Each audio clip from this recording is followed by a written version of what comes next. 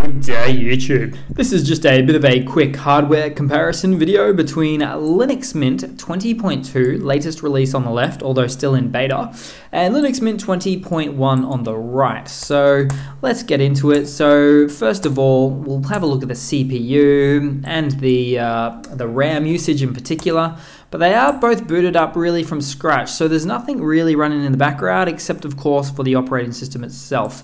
Now I might just punch these open uh, up a bit here, but this is where I like to see. So I've assigned four gigabytes of RAM and uh, two CPUs to each of them, so that's fairly similar in that way there, to say the least. There's a couple of extra threads here, so there's 234 threads in the background running on the newer version whereas we've got about uh, a little bit less, 228 on the right. Now, it is important to say that this is both the Cinnamon uh, desktop environment version, so really the default desktop environment, so it's good to see there.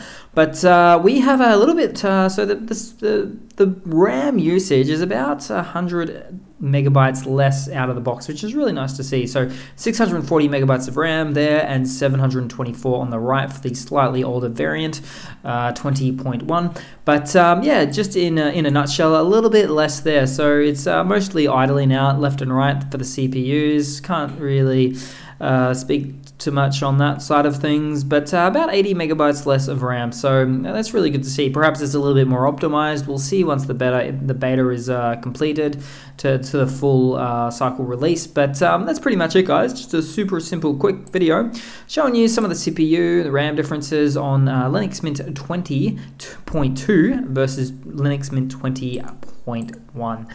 Thanks, guys, and I hope to see you guys in the next one. Cheers.